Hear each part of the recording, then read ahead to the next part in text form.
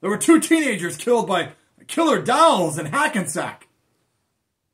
Mr. Murphy. Mr. Murphy, no. I know that look. Absolutely not. I am a Carol Burnett Award winner. Never question me. No, so you want your laugh to be something like this? Miss, Mr. Murphy, What's up?